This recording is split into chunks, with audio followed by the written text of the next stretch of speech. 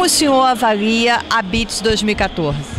Bom, é evidente que nós, como promotores, mas guardando uma, uma proporção do real, uma proporção do que está acontecendo, eu diria que a BITS 2014 nos mostrou que nós estamos certos, estamos corretos na construção dessa feira. Porque, como você sabe, Ana, a gente, para construir uma feira, é um, um processo que demora duas, três, quatro edições. E ainda mais um setor de TI, é um setor absolutamente dinâmico e onde as feiras, é, de uma maneira geral, têm encontrado grandes dificuldades em acompanhar os anseios de expositores e visitantes. E o que a gente viu esse ano aqui é que nós estamos atingindo esse grau de entendimento desses dois clientes, que eu sempre digo, nós temos dois clientes, um é o expositor e outro é o visitante. E eles realmente é, estão gostando da feira, tiveram bons resultados na feira e a feira em si ela mudou um pouco. A feira é realmente um grande ponto de encontro para a troca de ideias e experiências. E isso foi o que está se revelando, está se revelando a cada contato que a gente faz com o expositor, com o visitante. É, eles estão satisfeitos em encontrar soluções para os negócios dele. Nesse momento, quer dizer, a Bitsu esse ano teve uma interação muito forte com a área de games, teve uma interação muito forte com a inovação.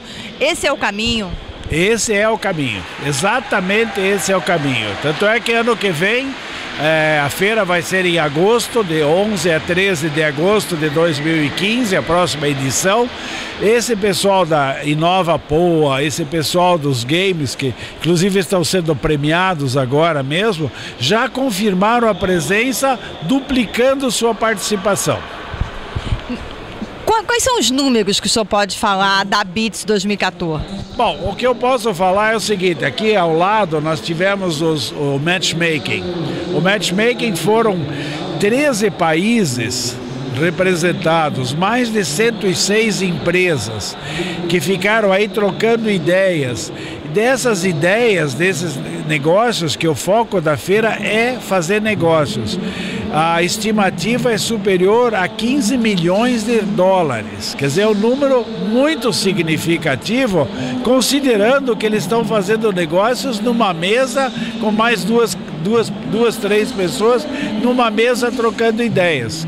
Então a feira está atingindo isso, quer dizer, fazer negócios.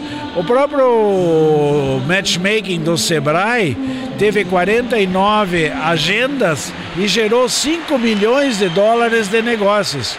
Quer dizer, são números muito significativos. Claro, não é a venda feita ali agora, é a venda feita para os próximos oito meses, dez meses, doze meses, porque isso é um negócio de adequação de cliente para o compra, do, do, comprador para o cliente, né?